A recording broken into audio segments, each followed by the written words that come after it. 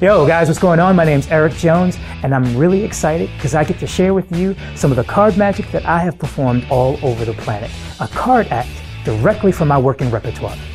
Guys, there's no filler here. These are all real world pieces of magic directly from my working repertoire.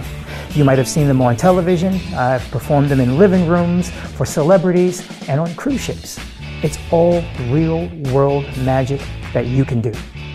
So we're going to delve into some of my favorite plots in card magic. We're going to talk about a double card rise. We're going to talk about sandwich magic. We're going to talk about collectors. And we're going to talk about a lot of the subtle nuances that go into each of these routines that make them special.